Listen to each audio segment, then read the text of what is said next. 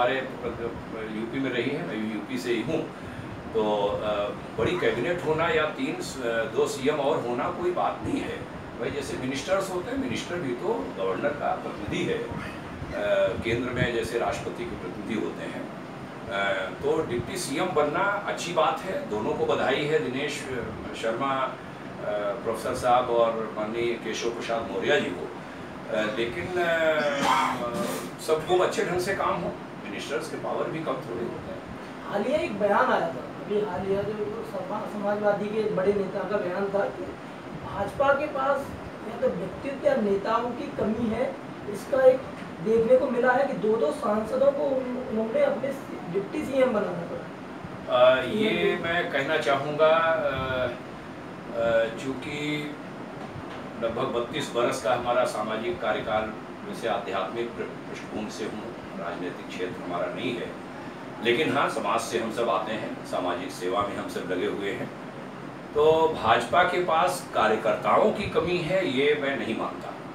और मैं तो कहूँगा, किसी भी राजनीतिक पार्टी के पास कार्यकर्ताओं की कमी नहीं है। लेकिन भाजपा में तो एक बहुत व्यवस्थित काडर है। अब ये इस पर टिप्पणी मेरे मुझे उचित नहीं है कि तीनों मेंबर असेंबली के नहीं हैं। होती है स्थितियाँ। हित में ही सोचा होगा। माननीय नरेंद्र भाई मोदी बहुत ही अच्छे तरीके से देश को चला रहे हैं। माननीय अमित शाह जी ने उस समय कल्पना नहीं थी भारतीय जनता पार्टी को जो दिशा देंगे। इतनी बढ़िया दिशा देंगे, मुझे स्वयं कल्पना नहीं थी। लेकिन उन्होंने दी मानना पड़ेगा।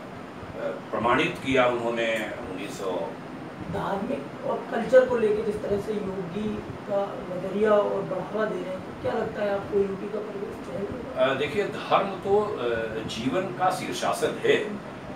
धर्म और हमारा जीवन वो अविभाज्य हिस्से हैं एक दूसरे से गुथे हुए हैं। उसके बिना तो धर्म कोई वो थोड़ी है हिंदू मुस्लिम लोग कह देते हैं। हम, कहते हैं, हमारा धर्म है देश की सेवा करना, हमारा धर्म है समाज को शिक्षित करना, हमारा धर्म है हमारी अपनी माँ का हम सम्मान करें। वो तो धर्म तो एक बहुत ऊँची भावना का नाम है। हमने उसको जाति और संप्रदाय से जोड़ दिया। ये दुखद हुआ है। भारत में धर्म का होने चाहिए और फिर क्या अधर्म विकसित होगा? शराबबंदी में पूर्ण बैन होना चाहिए। शराबबंदी को लेकर पक्का पक्का। शराबबंदी को लेकर हमने हमने हो रही है आए दिन